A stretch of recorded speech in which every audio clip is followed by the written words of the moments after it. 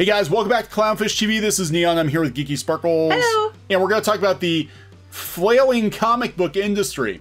Uh, the comic book industry is not in a very good place. We've talked about this in multiple videos. A lot of mainstream media outlets are talking about how the comic book industry might not survive the shutdown. Right. And we've been documenting that. A lot of other YouTubers have been documenting that. You know, and a lot of comic book creators, though, they want to pretend like things are fine. They want to pretend like things are going to continue to go on as they have. And I think they're starting to realize that that is not going to be the case. Right. So now they're trying to unite to save comic shops because that's their main vehicle for getting their stuff out there. Right, but it's kind of weird to uh, look, and I want to be very clear. Um, I am upset about what's happening in the comic shops. Yep. Okay, uh, I don't want anyone to lose their small business. Nope. Uh, and comic shops, unfortunately, are, have been collateral damage in all the bullshit going on in the comic book industry Right. for years. And it's just, it's weird seeing the comic book industry scramble to try to build life rafts as the industry is literally Well, sinking. and let's be honest here. The reason a lot of these shops are, are, are in trouble, and the reason a lot have gone out in the last few years prior to this event, is because of bad choices made by the comic book companies and the fact that no one wants to buy their stuff. yes. They're, these people are out blocking everybody who doesn't agree with their political opinions on Twitter. A lot of people, not all of them, but a lot of people that were creators in this event are ones who have blockchains and have block, a lot of people blocked. And a couple of them we looked, they did not did not unblock people. Right. They're blocking customers. They've been, you know, very cavalier and um, very vocal about how everybody who doesn't agree with them is, you know, this, that, istrophobe. To me, this whole thing reeks of you going up to somebody, you beat them almost to death, and then you you, you give them a, a blood transfusion to try to keep them around a bit longer, and then go around like, look, I saved them. I saved them. You're welcome. Never mind, you beat the shit out of them in the first place to cause the problem. yeah. But you're parading about how you're saving them. But you're you caused the problem. Yeah, that and that's what what is kind of you know I, I'm of two minds of this because again I do not want to see comic shops No, don't either. suffer, but the comic shops have suffered at the hands of a lot of the people who are putting this thing together. How many shops already shut down because of not being able to sell? When they had that, that thing at New York, was it New York Comic Con, where the, where the retailers were yeah, were calling them out in the hallway, Yes. they Marvel out in the hallway. in the hallway about Yeah. the fact that they, they can't sell their books because the, the questionable, you know, directions and choices that were being made. And a lot of these shops have gone under prior to this because of the bad, you know, uh, decisions and choices from the comic book industry and bad behavior, blockchains, etc. So now these some of these same people are out here going, I'm going to save it. Even though you caused it.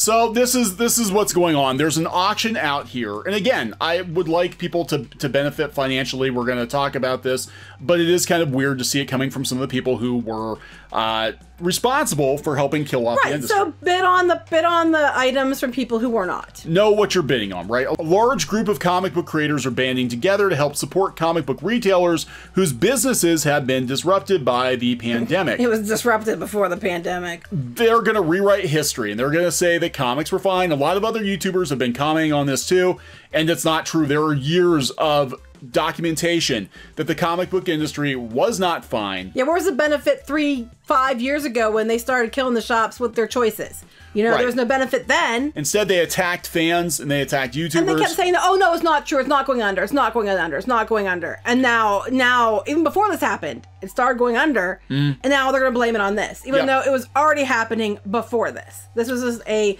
death knell type maneuver. right. So using the Twitter hashtag, uh, because of course it's on Twitter. Yeah, because where else would they go? Because they, you know, Yeah, Creators for Comics, more than 120 creators will be auctioning off comic books, artwork, and one of a kind experiences, including Chip Zdarsky's Naughty Story ew. Time starring I know you. you, told me this. I was like, ew. That would just creep me out. An original erotic short story featuring you, which I will read to you sensually via Zoom. Ew. Opening bid 40 bucks. Okay, I just can't. That's just nasty. All right. I hope you uh, have your shots. yeah, right. It sounds like a Patreon thing. It does. Um, so the auctions will run from Wednesday through Monday and will benefit the Comic Book Industry Charitable Foundation, which is accepting applications from comic book shops and bookstores for emergency relief. Now, we don't know how it's going to be dispersed. No, they said it's supposed to be fair and equitable, but I do have to wonder if the ones who played ball and and, and, and blacklisted who they wanted are gonna are gonna get you know Portland. Yeah. Portland. Yeah. Um. Now, I want to throw out there because you're not going to hear about this uh, anywhere else except on YouTube. That uh, Gary from Nerderotic, right? Good guy. Uh, he used to own a comic shop in San Francisco. He offered a thousand dollars to a shop that would write in and uh, tell you know give him the story. Like here's what's going on, uh, which is cool. But no strings attached. You don't have to buy his erotic stories. Yeah, you don't have to, you to promote yourself via Twitter hashtag to get free promotion. You don't have to promote yourself. He's just like from one former retailer to another. I will give you money. Well, I want to know right now when they're trying people to bid on this stuff, how many of them still have everybody blocked? Have all these people blocked? Have all these customers blocked? We're gonna go down the list, and I'm gonna mention a couple people that have me blocked. But You were lucky enough that a lot of people didn't block you to begin with. no, um, actually, some people who had me blocked before unblocked me when I complained about them blocking me in videos. Uh huh. Uh, just to be like, oh, it wasn't us. Oh, oh." so here's who's running this thing: uh, Sam Humphries, Brian Michael Bendis, Kami Garcia, Gwenda Bond, and uh, Phil Jimenez. Humphries will be auctioning off how to break into comics by making your own comics, which are video chat sessions with aspiring. Oh who's God. gonna bid on that? okay. Oh, how to Um, break into comics anymore is know the right people and and you know be the right checkbox. Right. So Jim Lee, he auctioned off a Batman drawing, got seventeen thousand dollars. Again, like I'm not. Well, that's because it's Jim Lee. it's Jim Lee, and how many Jim Lees are there? I right? mean, and it's a band-aid on a gaping stab wound. I'm not again, I'm not minimizing anybody's sincere efforts to want to help comic book shops, but basically where was the sincerity before this? where the fuck were you for the last 3 to 5 years? Yeah. Where was the sincerity before this? Where when people when shop owners were telling you the stuff you're giving us isn't selling and it's it's running us under and you guys just kind of mocked them, laughed about it, blocked people and then were very cavalier in your behavior. Where was the sincerity then? Right. Um and I guess that's what I'm saying here because again, it's like the comic book industry, we've seen this there are lots of opportunities for self-promotion. Um and again, Especially on Twitter. especially on Twitter, and it, it just, it sort of reminds me of like the comic book equivalent of Live Aid. Again, I hope shops get help. I do, but maybe shops could have weathered the storm better if if the comic book industry hadn't made such stupid decisions. I love how it went from, you know, oh, these people are going to do these, uh, you know, codes to sell comic books and, you know, help the shops out. And then when that was obviously not going to work, it went from this idea, this idea, this idea to now, okay, we're just doing a benefit to raise money supposedly for comic shops. it's Live Aid for comics. Pretty much. you know? And I mean, I'm, I, I, I, I don't think that's a bad thing. no. I think that's a good thing that they're trying to help. I just think it's to me, it's just like it kind of rubs me the wrong way, and the fact that the reason the comic shops were maybe not financially stable to begin with was because of the same people. Some of these same people, not all of them, obviously, but Yeah. some of the same people. Yeah, um, now it's interesting. They, they mentioned for some reason they dragged Mark Ruffalo into this. He's not donating to this cause, as far as I know. He's he's uh, donating to Masks for America. And there was some talk about, you know, Donny Cates was wondering why Hollywood wasn't saving comics. We're going to talk about Donny Cates. He actually did something really cool. Uh, kind of wonder about the motivation, but he did something really cool. And we'll talk about him a little bit later. But um, the, the reality is, Hollywood doesn't give a shit about the comic book industry. They care about the characters they can monetize for movies. And if Hollywood's going to save anyone, they're going to save themselves. Yeah, they're they're not holding on either, guys. It's- so they're they're- they're struggling just as much. Uh, you know, the comics they're they're already ripe for falling under because they've already made it that way. Yeah, so it's every rat for themselves. But I mean, even local media outlets, uh, local news stations are picking up on this. Comic book industry crippled uh, by COVID. Now, here's the uh, here's the auction. The uh, creators for comics. I'll actually put a link to it in the description. I think we're probably safe to do that. Hopefully, we don't get flagged for that. But um, you know, it goes through April twentieth. And here's a list of people. And it's interesting because a lot of the names on here, there are, I want to be clear, there are some good people There are, on this list. And but there are also some total a hats. I'm on friends. This list too. Yeah, we're friends with some of these people. Uh, there's Art Baltazar. He's a pretty good guy. Um, but going down the list here, some of these names, I'm like, hey, look, Chuck Wendig. Okay, so let's go out to Chuck. Oh, Chuck Wendig has me blocked. Ah, Chuck, Chuck, Chuck. Uh, so, so basically, a lot of people still have blockchains in effect. Yes. So you're not allowed to, uh, to bid. You know, they want you to bid on their stuff as they've already blocked you.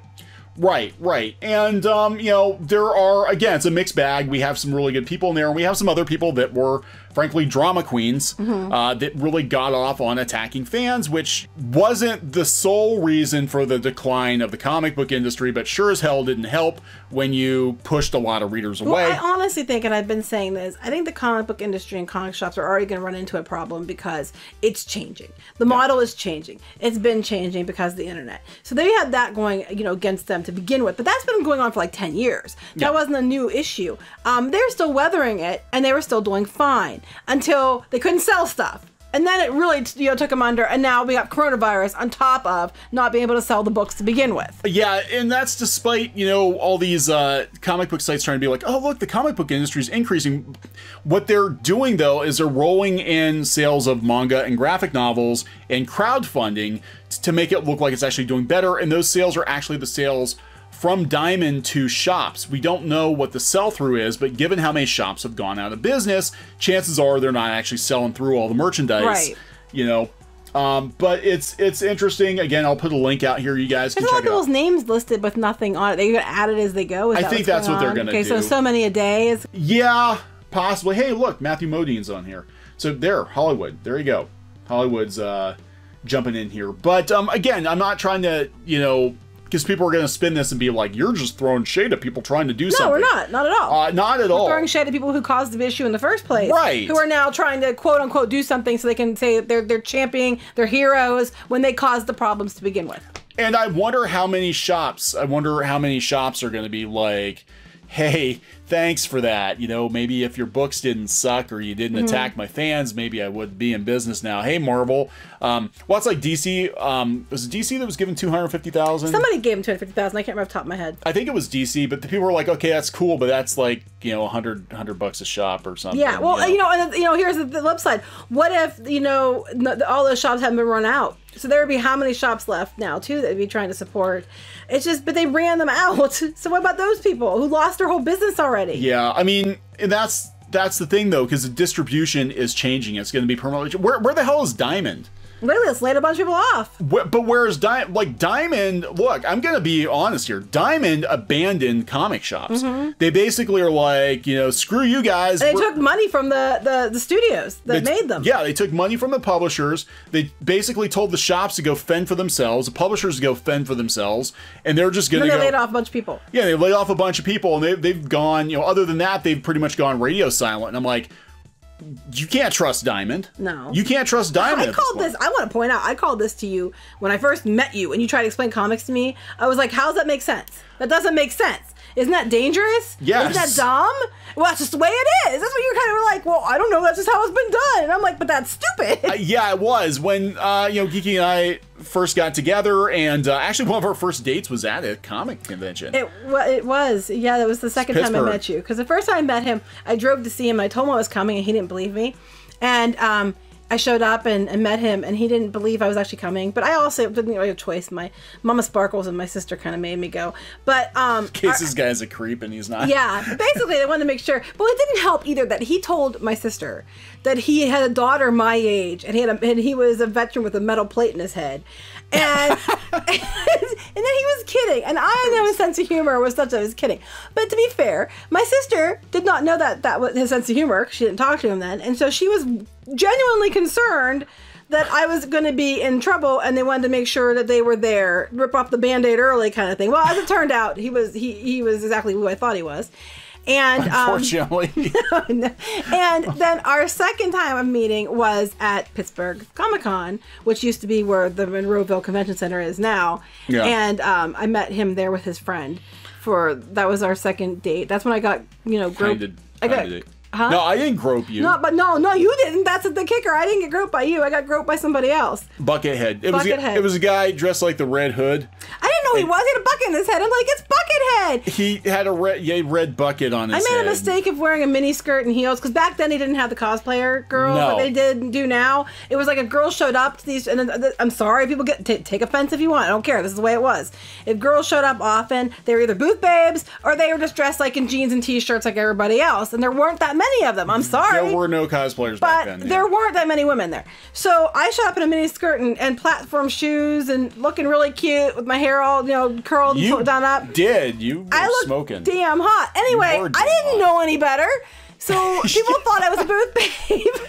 They did. And, and I got, I got, I just saw somebody with a bucket on their head. and I'm like, oh, it's Buckethead, because I didn't know comics. I mean, Yeah. other than the Sheer mini comics, The Joker, care. before he was a Joker, he had a bucket on his head. And I next thing I know, I'm being grabbed by this guy around the waist and bent sideways, and all these camera flashes are going off all around me. So apparently, there's pictures of me somewhere with a guy with a bucket on his head from Pittsburgh Comic Con, and that was what 2001. Yeah, like almost 20 years ago, yeah. So there you go. And it's probably somebody that listens to us. Oh my god!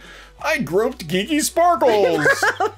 but you'll never know because I had a bucket on my And a couple people on the list were there too, and they hit on me too. But I'm not going to name names.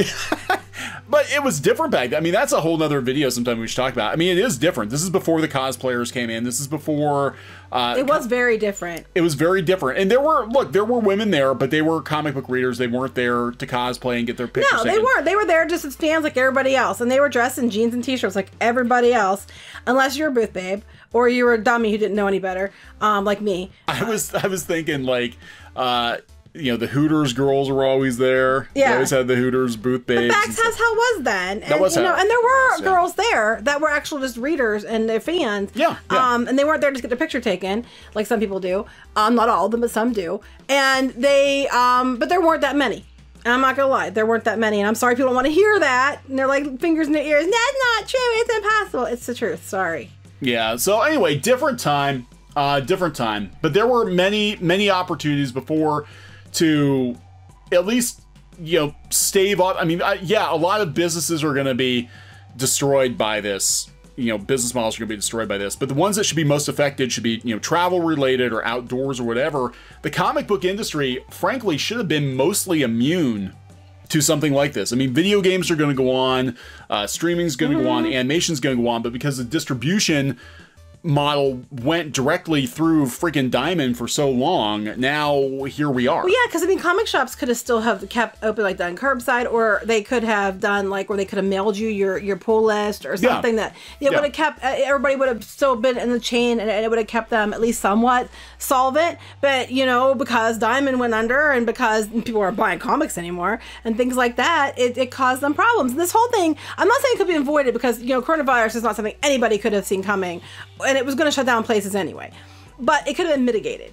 Yeah, it could have been. Comics um, could have, and I, I think what what throws me about this whole thing is one, everybody knew you know relying heavily on Diamond was a problem. I called that 20 years ago, guys. that's how we started that, 'cause- it wasn't even 20 years ago, I don't think. But you know, But I was trying to explain it to Gee, and she's like, I don't understand. stupid. Yeah, it is stupid to an outsider, to somebody who's not into you know the direct market.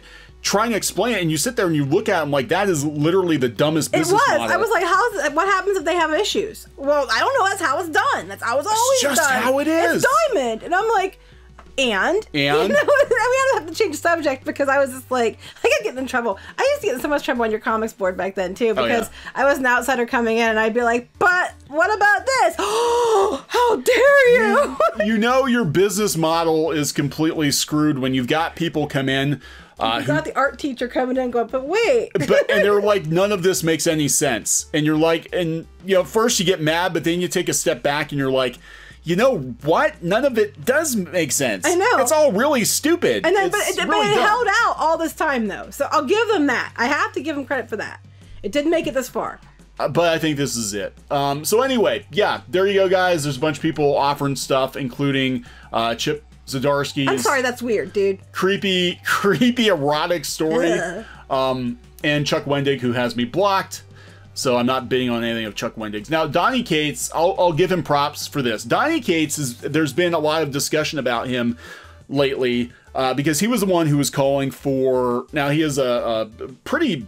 I think he's like at the top tier of Marvel writers at this point. He writes Venom and, and some other stuff. Ghost Rider, I think he was doing Ghost Rider, and um, he was making the comment about Hollywood basically bailing out comics. Hollywood is trying to bail their own selves out. Yeah, and they can't they can't do it. Now, Donny Cates though, he called into Ethan Van Sciver's show. Mm-hmm. I don't know. I don't. I listened to a couple minutes of it and it was like the most freaking awkward conversation. Uh, he called I, I don't know well, at least he tried to talk. Yeah, I'll give him that. I mean, A lot I, of people like to, to throw stuff, but they don't actually want to talk about it. Yeah, so I don't know exactly what the purpose of it was. It was a very weird thing. So it does, from my point of view, it does look like, um, you know, I would, well, okay, I would like to think that there are going to be maybe some olive branches between the pros who spend all this time, you know, running down YouTubers and the YouTubers, but obviously there's going to be some You can't blood. trust in olive branches because I'm telling you, and I've said this before. We said it on the show. What's going on? This these are the people who gate kept and threw Yeah. everybody overboard to make sure they got their friends, their narrative, their pedestals, their platforms in, and then they didn't care what happened to those people. They blocked them. They told everybody else they've got them on lists and, and everything else. And then those people went out and made their own life rafts, and they were fine. And now they're in trouble, and they're trying to be like, "Oh, help us now that you know we don't know what we're doing, and you clearly weathered this." But you know damn well if you help them, they're just going to push you off your life raft and take that too. Yeah, because we've seen it before. We saw it with Saw it many times. web personally. comics. Web comics. Oh my god, web big one. Um, comics. Oh my god. you know what the most cutthroat thing I've ever seen with this same kind of attitude was? Disney comics. Yeah. I'm sorry, I'm gonna call it out like it was. Disney Comics was the most cutthroat load of shit ever, and that's just the truth because Kneon, and I don't care who Mick gets mad about this, but Kneon was in there, and there were these established factions, we'll call them, and he and and, and, he was kind of like friends with everyone because he like he does he didn't like pick sides or anything. He kind of just got along with everybody. I just wanted to draw He ducks. just wanted to draw ducks. He just That's what I wanted, you know, wanted to do. and people knew that IDW was going to do comics for Disney, and people deliberately lied to his face and said that they didn't know anything that was going on. He had to go on his own because the factions already got themselves established. He had to go on his own and find a way in to make be able to even get to the covers he got to do because he was in there. He played ball. He was one of the people. He was in there ahead of some of the people who got to do things. And then it was the most cutthroat load of shit and, and backstabbing BS I've ever seen. And it, you know, guilty parties should feel guilty because it was really crappy what you did. I'm sorry. So who's laughing now? Yeah, but I'm just saying there was a lot of back. It was the Disney comics. It- it was quite very frankly the most backstabby and Christian comics Oh are some of the most God, backstabby. BS things I've ever seen too. I think it's just comics in general. Comics is a don't very know, some of the other comic things I didn't think it was so much. there's a lot of cattiness. Web comics are very catty. Web comics Uh, didn't used to be. It didn't used to be. It was actually when we first started doing web comics, like late 2000s. It was a pretty tight knit community. Everybody kind of, you know, even though people had differing opinions, even on Twitter, everybody was pretty civil and everything was pretty cool. And then it just started to get very cliquish and weird. It was. And here's the thing we learned too. If you were somebody who was already a big deal when somebody entered webcomics, you were always respected.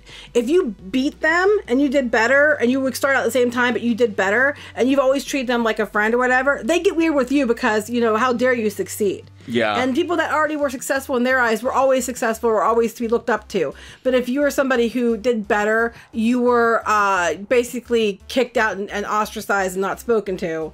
Because how dare you? Yeah, there's a lot of weird. Well, I think what happened is, and I'll tell you, because people were like, "How did comics get so weird?" Because com- the comic book industry in general, you know, there were factions on different. And again, it comes down to resources.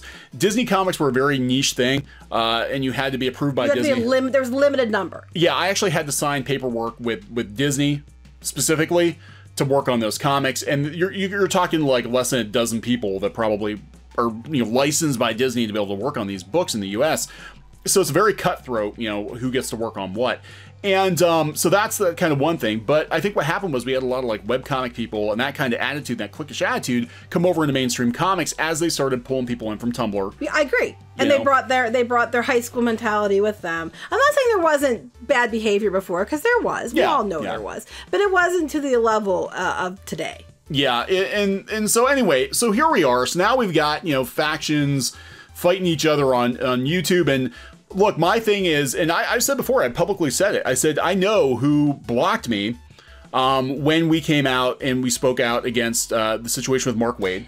Yeah, know? even before that, when you in- innocently pointed out Marvel's numbers are bad, this could be bad, and we didn't even know anything about this stuff. No, we didn't even know there was a comics gate or any of this stuff. we, I didn't, was we, like, didn't even pay attention. We were busy doing our own things. We are mostly doing like Disney website stuff. and that's how it crossed over because I was like, I was looking at Marvel's numbers. I'm like, holy crap, I haven't been paying attention, but Marvel is really not in a good place right now. Let's talk about And this on the that Disney set us blog. off on blocked lists. Set you Yeah. off. I mean, they don't. They don't. They don't block me for whatever reason. That set them off on block lists for you. And then as soon as we, you know, came out um, on other things, uh, then it got worse.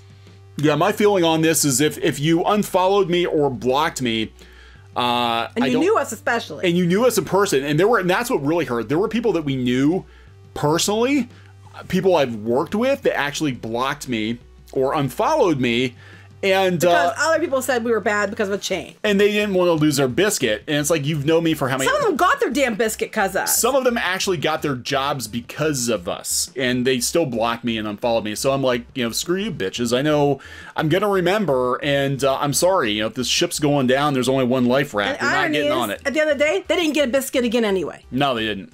Um And now there's probably no biscuits, so. Well that's it. The biscuit factory just blew up and so now people their biscuits. so now it's uh it's air biscuits yeah right so everything's everything's blown up so now you've got people scrambling to try to find a life raft and you're gonna you're gonna see more marvel and dc people try to jump over into youtube you're gonna see them i'm seeing all kinds of people trying to start podcasts now uh, gail simone tried to do a youtube god it was I couldn't. It hurt to listen to. I It was really I don't bad. know her. So I'm not. I don't know her either. I- either I'm way. not- yeah. But um, I did try to listen to it, and it was really.